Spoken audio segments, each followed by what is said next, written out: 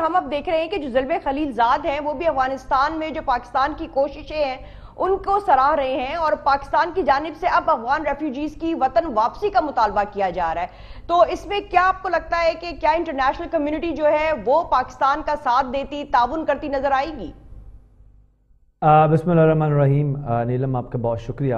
دیکھیے، یہ ایک بڑی سیریس قسم کی ڈیبیٹ ہے اور میں سمجھتا ہوں کہ آج کا دن اور اس طرح کے ہونے والا جو ایونٹ ہیں، جو جن کا یہ ایک ایونٹ جیسے آج ہوا جو جنرل سیکٹری تشریف لائیں پاکستان کے اندر، یہ ایک اسٹریٹجک شفٹ ہے، ایک نیریٹو کی اسٹریٹجک شفٹ بھی ہے، جو پاکستان کی جو کامیاب خارجہ پالیسی ہے، اس کی مظر ہے۔ دیکھیے، ہم لوگ جو ہیں، وہ جو کامیابی ہوتی ہے، جو آپ کے جو ٹائز ہیں ڈپلومیٹک ٹائز کے اندر، کامیابی کیا ہوتی ہے؟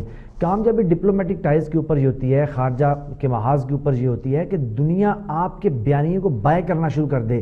اگر وہ مکمل بائے نہیں کر رہی، تو جن مسائل مسائب یا مشکلات کا سامنا آپ کو ہے، اس کا ادراک کرنا شروع کر دے، یا آپ نے اگر کچھ کیا ہے تو اس کو ریکگنائز کرنا شروع کر دے۔